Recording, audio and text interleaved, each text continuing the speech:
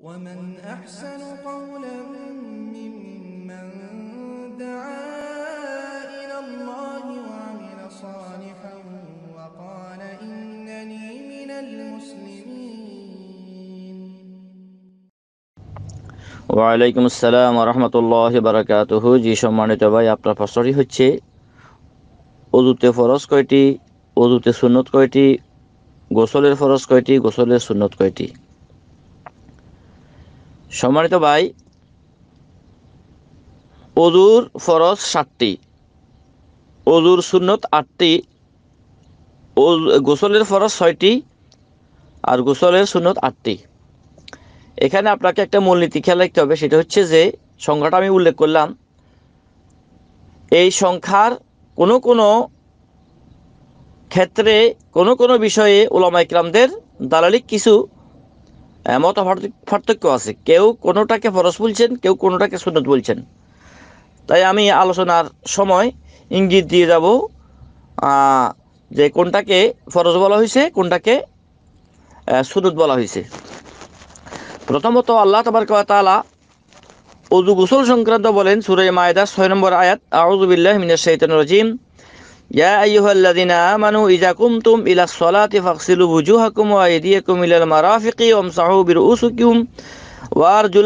কাবাইনি ওয়া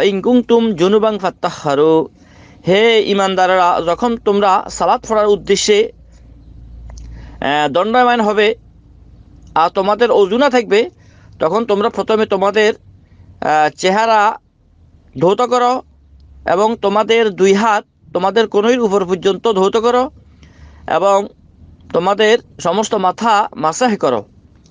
আর তোমাদের পায়ের দুই টাকনুর উপর পর্যন্ত ধৌত করো। আর যদি তোমরা জুন- জুনুবি হও, অর্থাৎ তোমাদের গোসল ফরজ হয় তাহলে তোমরা ভালোভাবে পবিত্রতা অর্জন করো।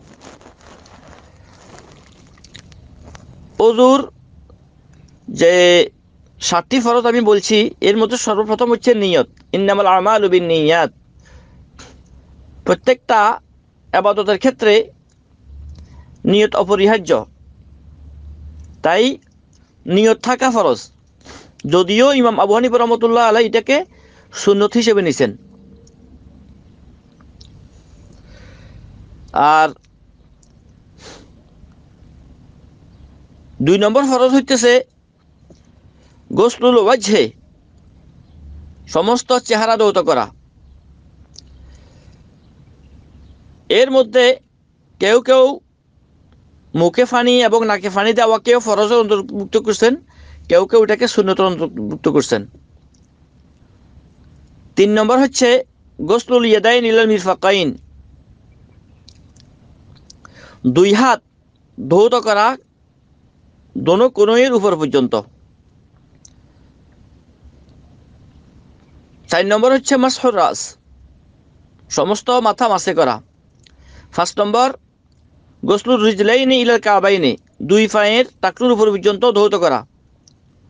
ছয় নম্বর হচ্ছে, অজুর মধ্যে ধারাবাহিকতা রক্ষা করা। আগেরটা আগে করা, পরেরটা পরে করা। তবে কেউ কেউ এটাকে সুন্নত মনে করেন। আর সাত নম্বর হচ্ছে মোয়ালাত বাইনাহা। অর্থাৎ একটার পর একটা তাড়াতাড়ি করা। এক অঙ্গ দোয়ার পরে অনেকক্ষণ দেরি না করে আরেকটা অঙ্গ তাড়াতাড়ি করি ধোয়া বা তাড়াতাড়ি করা। তো এই এখানে হলো মোট অজুর ফরজ ষাটটি যদিও কোনো কোনোটাতে ওলামাইকেরামে মতভেদ করছেন।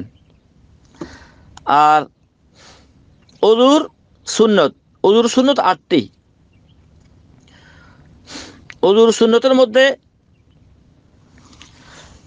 প্রথম হচ্ছে বিসমিল্লা বলা। বিসমিল্লা কেউ কেউ এটাকে রোকন হিসেবে নিছেন। তারপরে মেসোয়াক করা। তারপরে দুই হাত প্রথমে কবজি পর্যন্ত তিনবার ধুয়ে নেয়া।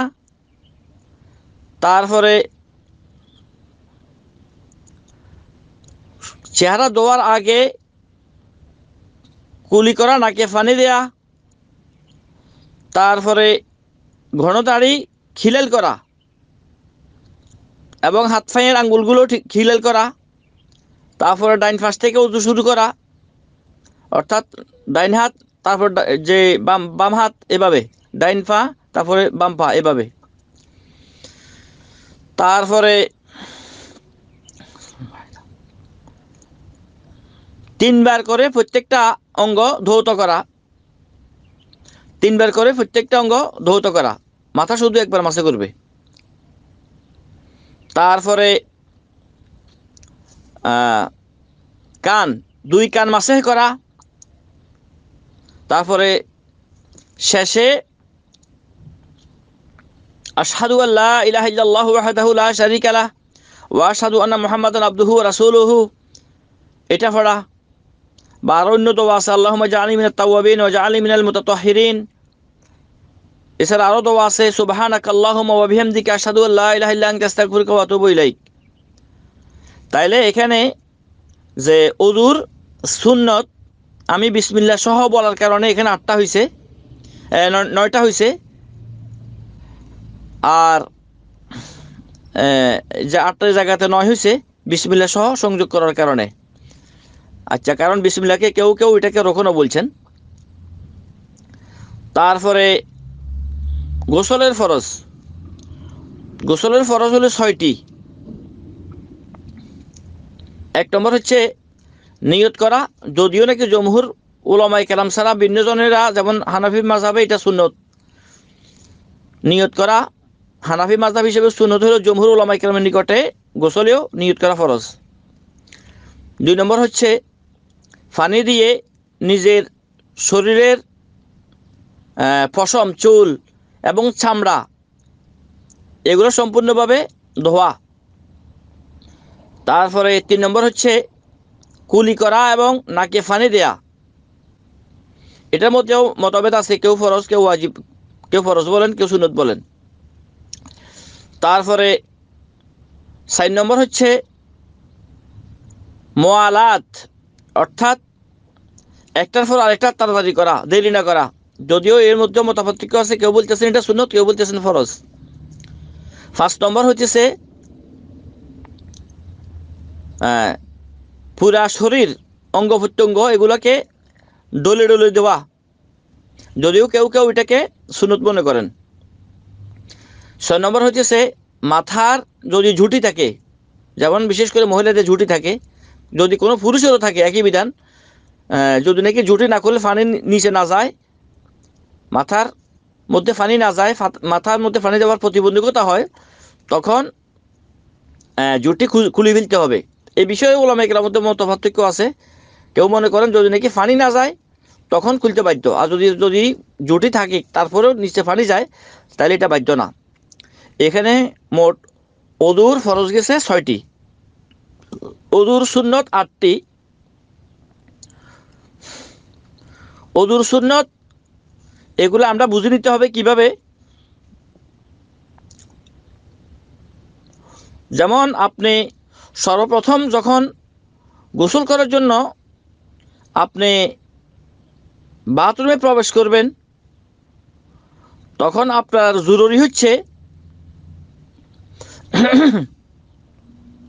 দুই হাতের কবজি পর্যন্ত আগে ধুয়ে নেবেন। দুই নম্বরে আপনার লজ্জাস্থানকে আপনি ধুয়ে নেবেন। তিন নম্বরে আপনি ফা দোয়া ছাড়া উজু করবেন। উজু নামাজের জন্য আমরা উজু যেভাবে করি, সম্পূর্ণ এইভাবে আপনি উজু করে ফেলবেন। গোসলের আগে শুধু ফাঁটা বাকি রাখবেন।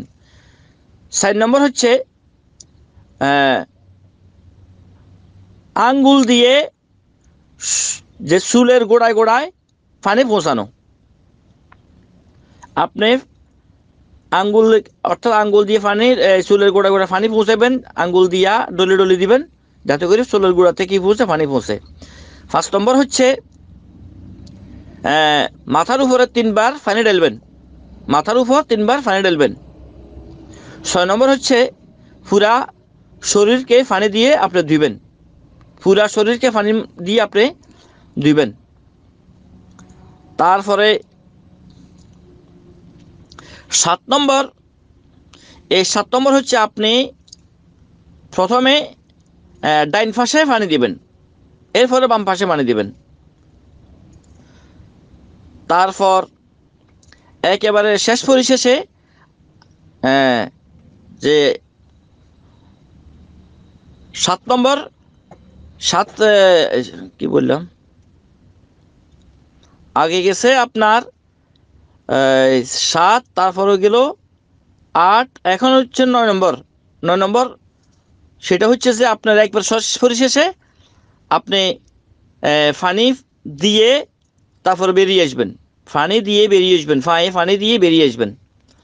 শ- শেষ পরিশেষে হলো আপনার ফানি দিয়ে আপনার বেরিয়ে আসবেন। তাইলে আমি বললাম, অজুর শূন্য গোসলের সুনত আটটি হয়তো একটু নম্বরের বেশ কম হইতে পারে। আমি আবার বলতেছি ছয় নম্বর ছিল পুরা শরীরে পানি পৌঁছানো। অর্থাৎ পানি ডালা আর কি, পৌঁছাই তো পৌঁছানো তো ফরজ, পানি ঢালি দেয়া। তারপর হইতেছে সাত নম্বর ডাইন পাশ থেকে ফানি দেয়া। ডাইন কাঁধে পানি দিলেন, তারপর বাম কাঁধে পানি দিলেন। তারপর আট নম্বর হচ্ছে একেবারে শেষ পরিশেষে দুই পায়ে পানি দিয়ে তারপরে গোসলের কাজ শেষ করবেন। এরপরেও আপনি কালিমাই সাতাত পড়বেন, যেটা জানাতে আটটা দরজা খোলা হবে। আশা করি বিষয়টা বুঝতে পারছেন? বাকি আল্লাহ আলম সালামু আলাইকুম রহমতুল্লাহ বারকাত